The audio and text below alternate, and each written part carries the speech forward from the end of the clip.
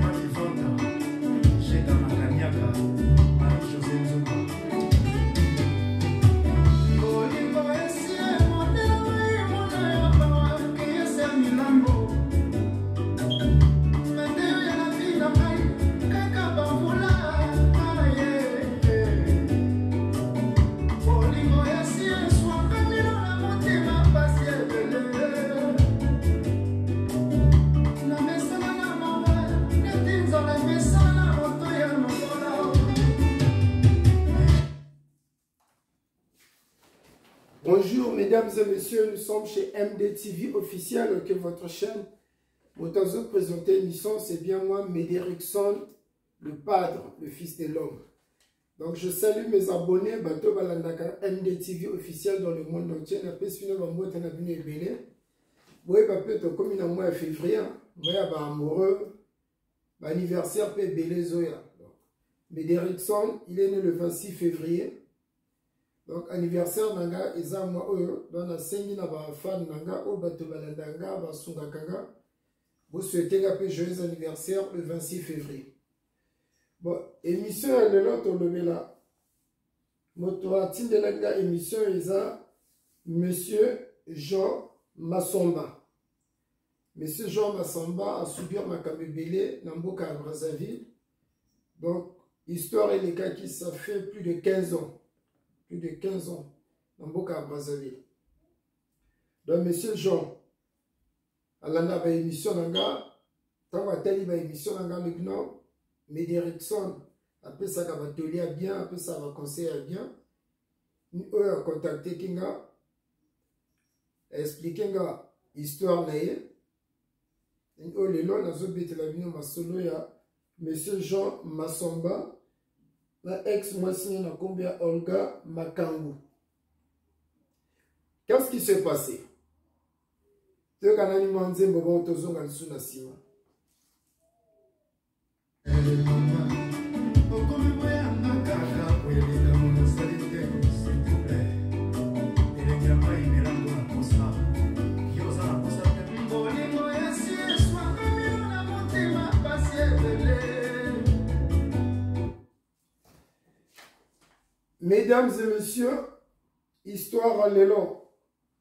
eze concerné monsieur jean masomba na madame olga makango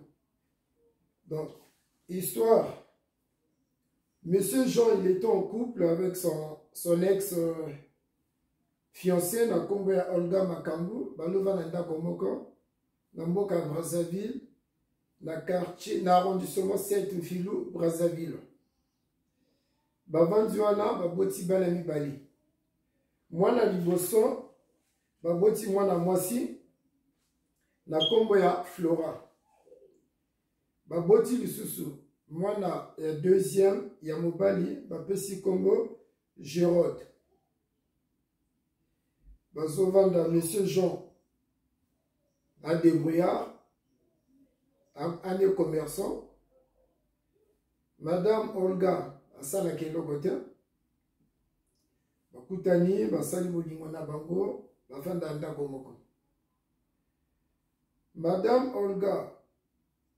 ntango azwaki zemi ya deuxième zemi wana eyalaki ya monsieur jean masomba te akozwa zemi ya deuxième na libanda na monsieur philippe donc makango na ye donc madame olga azwa makango libanda na oyo makango na wana baboti mwana moko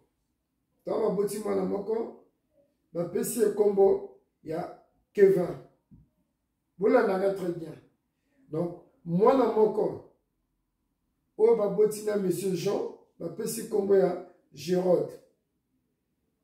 la même personne donc mwana kana mwana moko wana akopesa lisusu zemi wana na monsieur philippe monsieur philippe mpe azwi acte de naissance abimisi acte de naissance ya mwana apesi mwana ne nkombo kevin donc mwana moko aza na deux actes de naissance na deux pères différents donc madame olga soki ayi na ndako ya libala na ndako na ya libala kota ya monsieur jean mwana wana akomi euh, kevin soki bamemi ye na ndako ya monsieur jean kuna monsieur, monsieur jean azobenga mwana ye na nkombo ya gerode au, au fond d'elle madame wangayebi eza mwana monsieur jean te soki ake na makango ne na nkombo ya monsieur philippe kuna na vrai papa biologique ya mwana wana bazobenga nkombo gerome kuna bazobenge kevin bavandi monsieur madame olga aotrompe mobali ne monsieur jean oyo bavanda ndako moko onofana akende na mboka kindamba nende osala bilanga tusa papa na domaine kuna afana ede monsieur jean mpe andimi nde afuteli biye ake kindamba or au fond d'elle alokende nde kindamba te akende na aka na kati ya brazzaville ake kotala makambo ne na nkombo ya monsieur philippe avandi wana un mois na monsieur philippe akokosa monsieur philippe non nakeki ndamba nakoyede papa bilanga nasala ye kuna fo nakondo surveille chantier alobi na monsieur philippe nakeki ndamba monsieur philippe azwi biye mpe afuteli ye mpo akendeki ndamba ye azwi mbongo wana azongi lisu na ndako ya libala na mfilu kota ya monsieur jean donc tout le temps azosalaka ndenge wana soki ake akosi non ake vilo avandi kuna mwa un mois deux mois akosi non ake lisusu vilo donc tout le temps c'était comme ça monsieur philippe mais monsieur philippe akoma menase no mais yo tout le temps ovanda na baparent no tosi toboti mwana mwana mpe azokola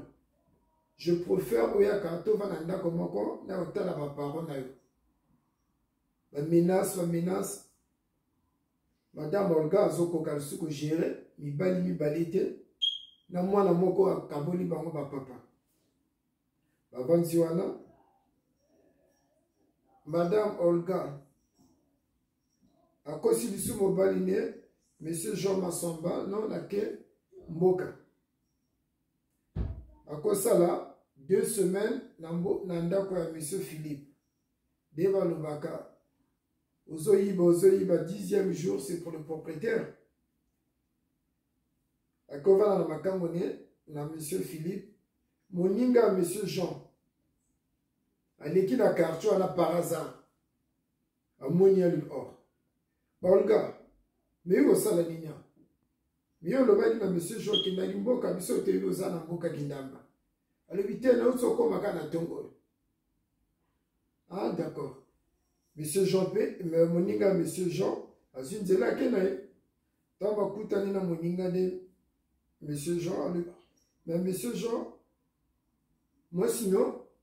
namonaki ye na, na, na ville moko boye me ye oyebisaki nga mwasi oyo akendaki na mboka wi ya voyage ke ya, ya trois jours olobi akosala deux semaines akozonga me ngai namoni ye na tel quartier alaki na mobali moko boye mobali wana meme asimbaki mwana na biso gerode ba peut-être ya bandeko noyebi ye nani ake voyage te abian d'accord avandi ne deux semaines eleki troisième semaine madame olga azongi ndako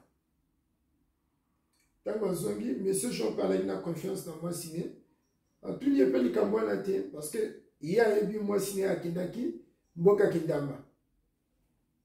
bavandi na bango tout ça se passait très bien toujours na bamenace ya monsieur philippe monsieur philippe alingi azwa mwasi na ye na mwana ne bazala ndako moko mais pendant ce temps madame olga makambu avandaka na ndako ya monsieur jean masomba bamenase elekaki tellement madame olga alobi na monsieur jean na chérie moi je dois te parler non il n'y a pas de souci vas-y o oh non papa azosenga masanga toboti mwana moko oyo ya mibale nani osali présentation te tozofanda kaka me papa alobi vraiment fo nazonga ndako ya baboti nazonga kotala papa soki olingi nga tu dois te organise ya kopesa masanga mpo nazonga na ndako no na okota libala ce genre de mais ça fait un moment tofandaka ensemble donc ce cas nga na osala couvrir kota papa naloba ni apatiente Peut-être l'année prochaine, je vais m'organiser. L'année prochaine, on peut ça masala. Madame Olga lobi avoma ah, papa lobi fona kanga biloko na ke novanda na ndako ni soko linga ya obalanga ke na zonga na ndako libala. Ce jour par le bon problème à tout. Monsieur Jean, la foutie transport ya mwasi na ye akotika mwasi ne na lopango ya papa ne papa ne avanda na kindamba donc alaki na deuxième parcelle na ye na mboka ya brazzaville na quartier euh, makazu soki makazu babengaka si je me trompe pas monsieur jean akotika mwasi ne na lopango ya papa na ye azongi na ye ntango azongi bazovivre ka ndenge wana de temps en temps monsieur jean akotala mwasi na ye na nkombo ya olga parfois olga mpe azwi mwa to mpe azongi mpe kota mobali ye na monsieur jean masomba ye otali donc or madame olga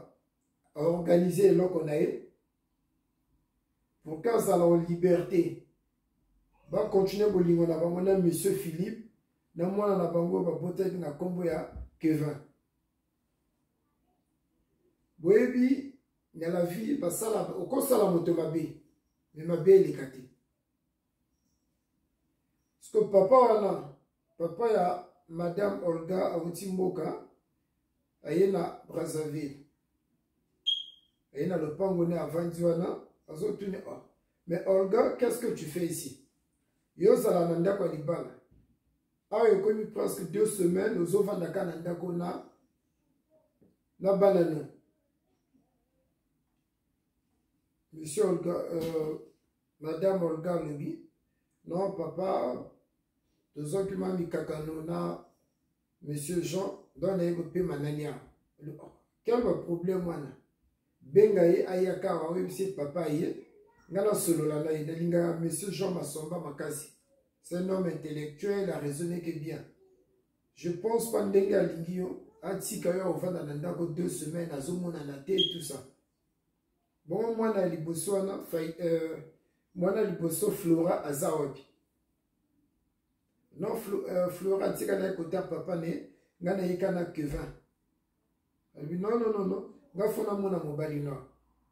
non papa je m'organiser naloba ni ayaka monsieur philippe mpe azokende otala mpe makambo ne na nkombo ya olga tout ça parce que papa olga mais mobali oyo ozobenga philippe nayebi ye te azokɔta na lopango na nga azosimba koko na nga ke mwana na ye bazosolola mon fils mon fils je comprends pas mais oyo oza mwana ya monsieur jean masomba ndenge nini ye azobenge mon fils ote papa ya connaissance na ngai to mwasi na mobali te toyebani kaka ayedaka nga mingi le temps en temps moninga na nga loin d'accord lokola bino basi boye boloba tellement amaîtrise papa na ye monsieur philippe ye mpe le temps en temps aotala mwasi na ye mwasi mpe ake kuna baosala bolingo papa ya olga alobi non ya quelque chose qui ne va pas alobi ne olga loba na nga verité parce que philippe wana azomoni clair te oyo ekomi deux mois to na kati ya ndako wana me mobali no nazomoni te ka philippe moto azoyaka akomema bakado ya mwana tout ça o te papa aka moninga na nga na koloba na monsieur jean ayaka mpo kokutana bosolo sikoyo papa wana alobi Ma fille Olga, nga nazongi na kindamba ntango nakozonga na brazzaville fo namono na ndako ya libala kote ya monsieur jean oyo komemelanga monsieur jean namona ye papa wana mpe azwi nzela azongi nde mboka na mboka nde na kindamba kuna madame olga makambu ye mpe azwi nzela mpe akokota ne libala akota monsieur philippe azolala wana ba une semaine azozonga abomba ah, makasi sikoyo ekomoyaka bolandaka très bien mes fans histoire eza ya elengi ah basi pourkui bonyokola ya biso mibali boye nzambe alalaka te mwana wana oyo monsieur jean masamba abengaka na nkombo ya gerode makango ya madame olga na nkombo ya philippe ye mpe abengaka mwana wana na nkombo ya kevin nzambe alalaka te mwana wana abeli ntango abeli awumeli mpe te abeli ka deux jours ntango bamemi ye na lopital mwana wana akufi nzambe azwi ntango mwana na akufi madame olga azobenga monsieur jean masomba te mpo apesa ye ya noki mwana ne akufi soki ayebi eza mwana ne te mokolo mwana eza monsieur philippe monsieur philippe alaki na l'hôpital ntango mwana azobela bamemi mwana na l'hôpital ti ntango mwana akufi madame monsieur philippe alobi tosala matanga epai na nga madame olukalobi abi ozalaka locataire tokosala matanga na lopango ya bato te nga papa na nga aza na lopango soki tosala matanga na ndako ya papa na nga monsieur philippe andimi problème ate basali matanga famille ya monsieur philippe eye wana bakomolela mwana na bango moto akufi na nkombo ya kevin journée moko ya liboso ya matanga deuxième jour troisième jour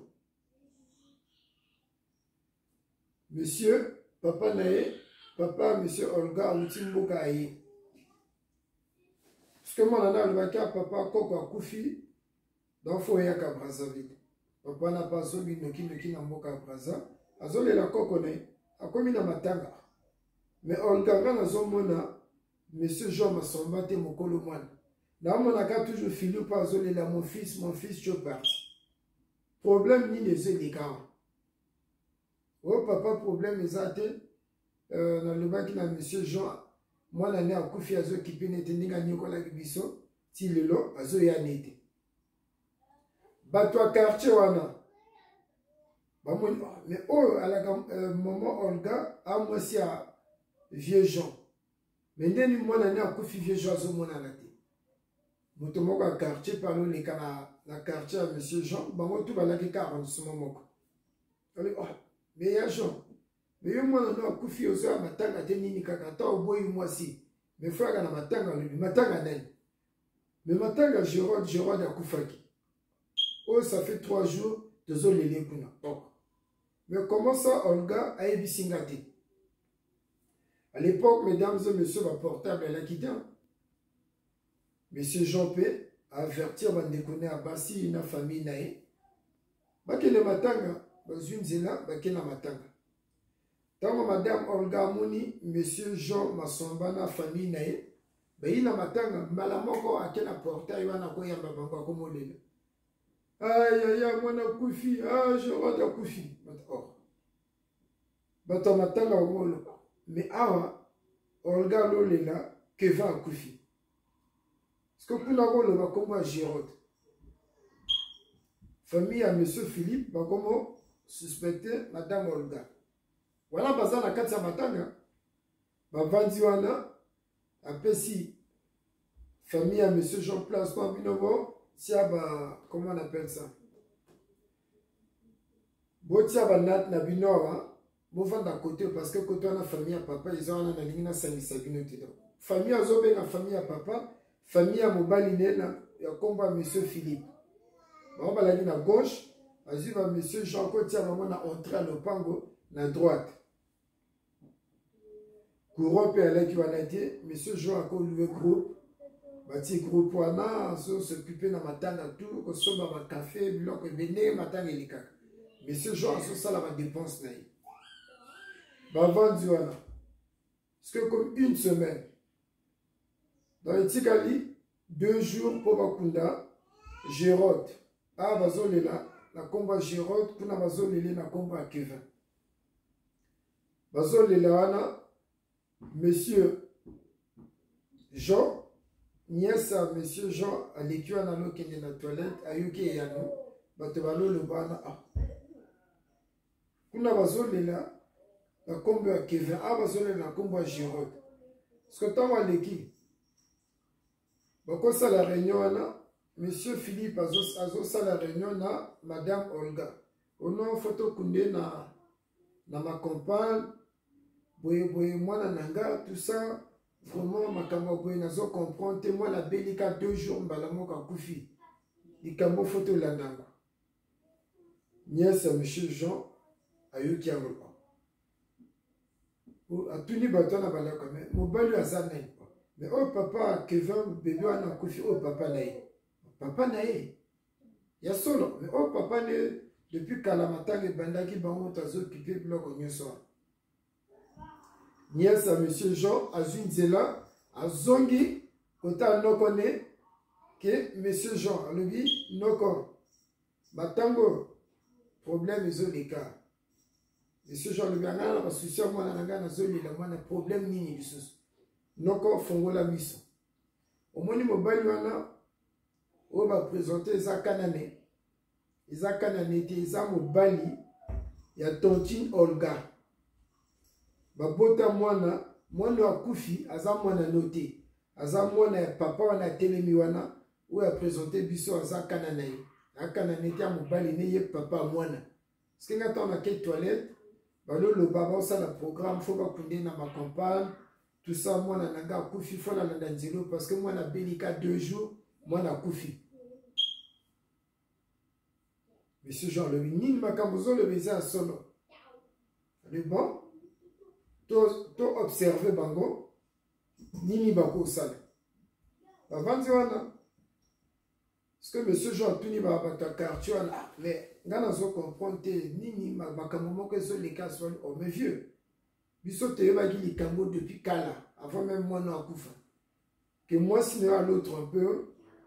na vieux philippe wana avandi wana oyo oh, bapresente bino kana na ye eza kana na ete ya makango ne ye mokolo mwana oyo akufi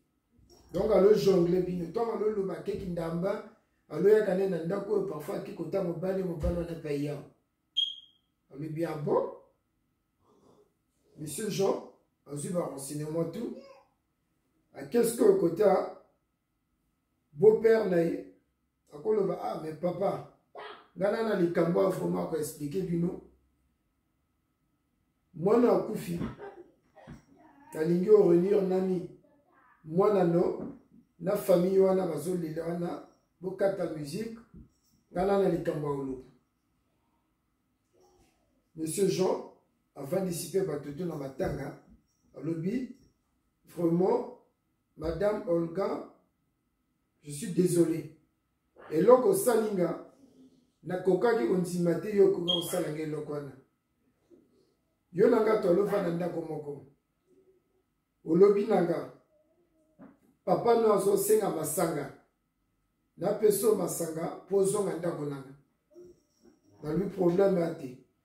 yango nakokoma mokanda epai ya papa nakoexplike yo lobi papa aza na kindamba nakomaki mpe courrier napesaki oyo napesa na beau père na nga ke na obala mwana ne apatiente papa nalobi nga nazwaki na nga courrier te olga alobaki na nga eloko te papa na beau père nalobi évolue ye mpe azokoevolue alobi mwana oyo oyo akufi mwana ya liboso tobotaki ya a mwana mwasi na nkombo ya flora ya deuxième toboti na nkombo ya gerode mais apparemment gerode aza mwana na nga te gerode aza mwana ya monsieur philippe oyo opresente nga aza kanano donc badepense oyo tuna nasali na matanga awa nazosenga orembourse nga te nga nazwi ba famille na nga toke na biso kunda ebembe na yo puisque yo okosaki nga euh, gerode aza mwana na nga oko fond alaki mwana na nga te monsieur philippe ntango ayoki ndenge wana asiliki alobi yo outi wapi oyo aza kevin aza mwana na nga alobi bino bozobenge kevin me ngai na na acte de naissance na nga nkombo ne eza masomba gerode ye mpe opesi monsieur philippe alobi nga mpe na na acte de naissance na nga bakomi owela ebimi sikoyo papa ya madame olga alobi olga katanga likambo oyo papa mona akufi aza nani ono papa ntango nalofanda na ndako ya monsieur jean euh, nalaki toujours na relation na ngai kala monsieur philippe nalo fréquente ye moto atiaki na zemi wana donc mwana oyo aza mwana gerode oyo bango bazobenga gerode komona eza gerode te komona eza kevin a mwana ya monsieur philippe monsieur jean asimbi motu bato tuna matanga balobi oh, Mais madame Olga oza ndoki ndenge otrompe biso omemi biso en bateau donc ntango alofana na ndako ya monsieur jean okosa monsieur jean oke kindamba okende lisusu kota ya monsieur philippe okosi monsieur philippe oke kindamba ozongi lisusu na ndako ya monsieur jean papa wana soni ezwi ye papa ya madame olga soni ezwi ye alobi vraiment monsieur jean suis désolé nayebi nini te nakolobani alobi olga à partir d'aujourd'hui alusu mwana na nga te bosana nga na vi na nga ntango ozokunda ebembe na yo bima na lopango na nga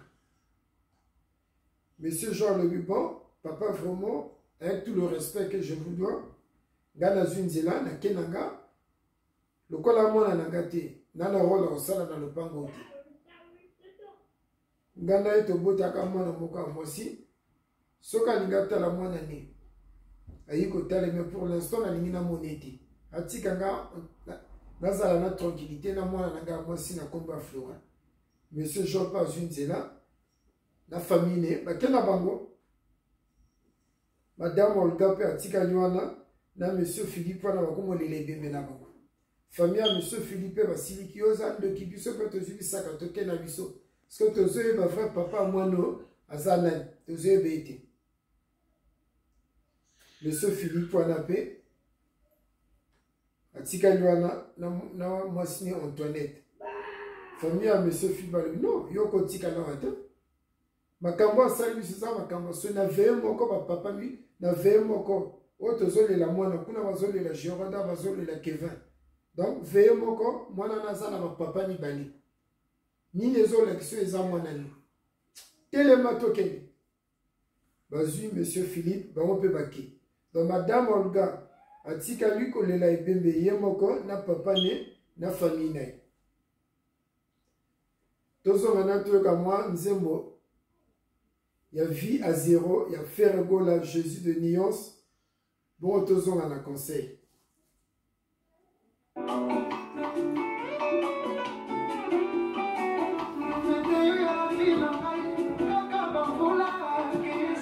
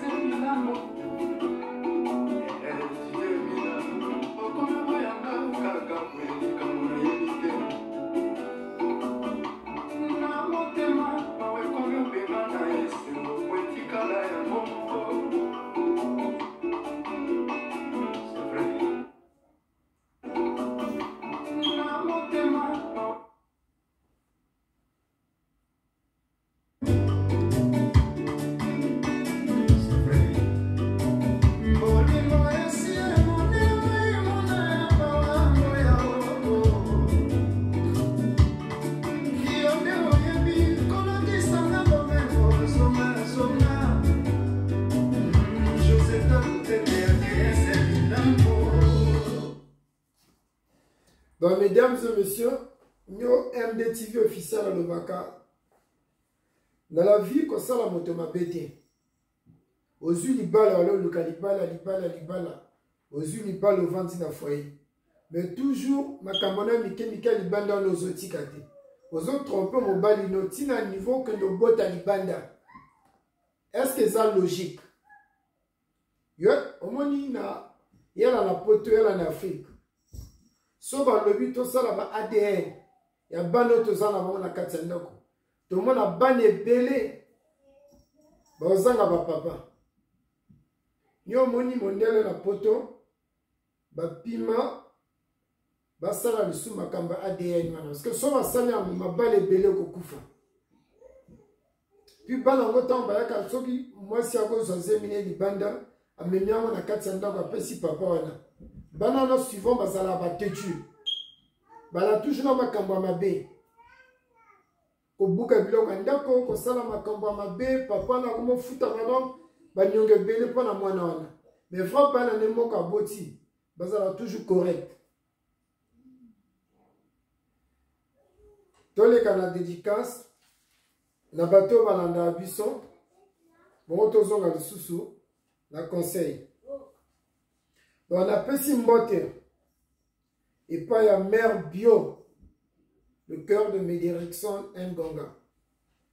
La pesi mbote. Et pas vieux nanga. Fiesta mfumu mputu. Mokonzi ya bilele. Vieux balobi forme yonde. La pesi lisu mbote. Et pas la grande Emma. Lundu. Bakwa. Na mboka blanc. na mboka blois donc mare ema balobi yo simba blois napesi lisu mbote epai ya axel zara hmm, petit frère propre balobi forme na braza yo nde axel zara napesi mbote epai ya rodrigue mayanda mon président Respect. Napesi mbote epai ya monsieur Rock Odungu. Balobi vieux Rock okangi brasa tout quoi. Vieux Rock Odungu chapeau. Napesi mbote epai ya Chimène Mutuari. Balobi moyini mbote. napesi mbote epai ya la reine edith flore le cœur de jr babindamana esika roger apemaka napesi lisusu mbote epai ya mère sile tondu ba mesdames et messieurs nio md tv officiel alobaka mokili eza matata Yo mwasi ozoluka libala, ozwi libala, banzela mike mike wana tika yango. Okoma na niveau trompe mobali no okozwa zemi libanda omemi na kati ya ndako opesi na mobali no. Omoni ndenge Nzambe apinir yo. yo kanisaki oyebana te me nzambe apunir yo abenzi mwana wana parce que mwana wana akomi na batata mibale ba acte de naissance mibale awa bazobenge na nkombo ya gerode kuna bazobenge na nkombo ya kevin donc awa monsieur jean azo ana besoin mwana ne kuna mpe monsieur philippe mpe aza na besoin mwana ne nzambe alobi mwana moko azala toujours na papa moko mama moko nzambe abenzi molimo na ye akende opema na ye parceke yo otikali na soni bamesdames et messieurs madame olga makangu ti lelo azwaka lisu mobali te soki azwi mobali ayi basakani ne mobali wana atiki ye azwi mobali asakani mobali wana atiki ye donc na soni wana madame olga akendaki ndamba ti lelo azonga lisusu brazzaville te parceke na quartier balovanda wana soki na makazu na arrondissement sainte ville histoire wana epanzana partout donc soki aleki na nzela bato bazotonge donc na soni akima brazzaville ake se refugie na mboka kindamba donc na basi oyo basala makambo ya mabe wana botika bizaleli ya mabe wana kotrompe bamibali na bino bozwa bazemi libanda omema na ndako somoni mobali ya ndako wana alembi yo loba nde papa nga nazokoka na nga lisusu te nalembi yo tokipeka bana moto na moto azwa nzela ne wana okosala vino ata oboti bana 10 20 wana makasi no botika kokosa mibali na bino bomema bazemi na kati ya ndako mokolo bakozongela makambo ya adn oyo non chaque foyer tosala ba adn mabala ebele ekokufa na poto meme na brazzaville na afrique mobimba mabala ebele ekokufa conseil nakopesa botika bizaleli ya mabe wana Bo respecter mibali na bino ya ndako. Mibali pe bo respecter basi na bino ya ndako. Parfois mwasi pe akeka na kanda wana mobali a trompe ke na kanda na ye pe alingi a se venger akopia nzoto kuna azwi zemi. Alingi mobali ni moyen aloba pe na mobali mpe na na zemi nalongola yango eza te parce que mobali yango ya zemi nanga fobota donc botika bacomportement ya mabe wana botika bizaleli ya mabe wana foye olukaki libala zala wana osupporte ya bien ne ya mabe osupporte mobali asali erreur olobi na ye a ah, papa na nga kote osali boye eza bien te tobongisa mwasi mpe asali betise a ah, mama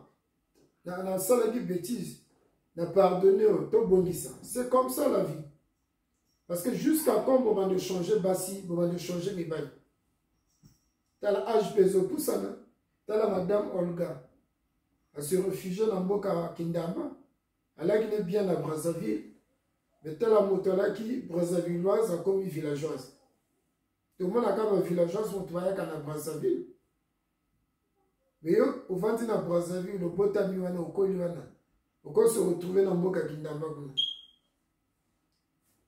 donc botika bizaleli ya mabe wana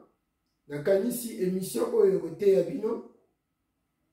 na baoyo basala makambo bizaleli ya mabe wana emission ekoteya bino botika bizaleli ya mabe wana bozwa bazemi libanda boya kopia na mibali ya ndako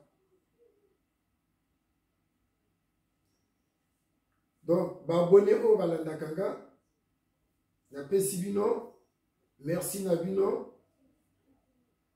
prochaine émission ekozala samedi prochain samedi prochain émission wana mpe ezala somo na mikolo bato bazobenga kaka mdtv mdtv na na histoire bato oyo baza nani abone te bosabone na chaîne na bino mdtv officiel boke na page na ngai ya facebook ya, ya youtube bokomi mdtv officiel bomona page na ngai obima na droite na bino bakomi na rouge sabone boklike wana okomi abone ntango nasala baémission